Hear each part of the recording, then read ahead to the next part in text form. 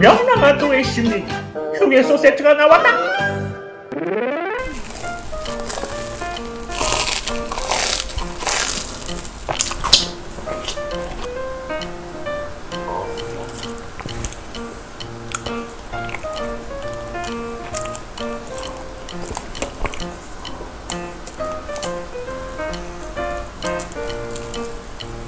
자취하는 남자 연결시 자취 영역의 노박입니다. 자 오늘의 먹방은요 명랑 핫도그 신메뉴 휴게소 세트를 준비해봤습니다. 소떡, 치즈볼, 그리고 따따블 치즈 핫도그, 그리고 감자통, 모짜 핫도그까지 종류는 4가지고요. 휴게소 메뉴로 구성된 거 봐서는 휴게소 세트 이름 장르는 좋은 것 같아요.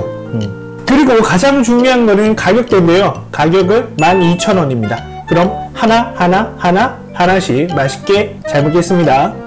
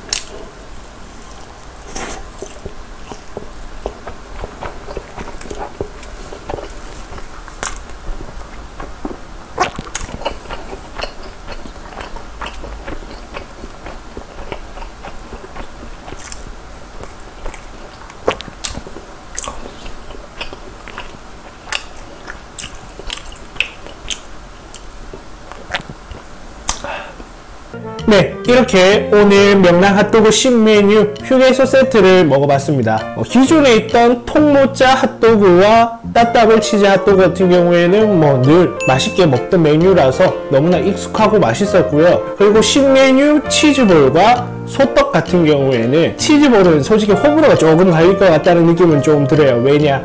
속이 꽉 차 있지 않고 연유로 약간 달달함을 대신한 것 같은데 꽉찬 치즈와 크림을 좋아하는 분들이 좀 굉장히 많으실 거라 생각이 들어서 빈 공간이 많은 치즈볼 같은 경우에 좀 호불호가 갈릴 것 같다는 느낌이 딱 들었어요. 그리고 소떡소떡은 찹쌀과 소세지가 너무나 맛있었는데 소스가 좀 너무 맵다 보니까 아, 요거 못 드시는 분들은 아무래도 말씀을 미리 또 이야기를 하셔야 될 것 같아요. 휴게소 세트 맛있게 이렇게 먹어봤습니다. 다음 영상 기대해 주시고요. 이상 용교시자 지역역의 노박이었습니다. 여러분들